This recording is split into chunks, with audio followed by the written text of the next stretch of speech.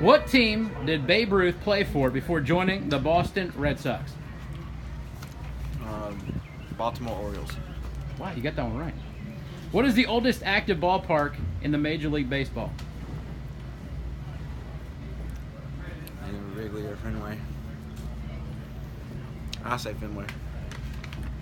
What baseball announcer was famous for his signature phrase, Holy cow? That was right. That was Yeah, right. yeah, you're right. Holy cow. Harry Caray. Boom, three in a row. You got it right. Let's go, baby.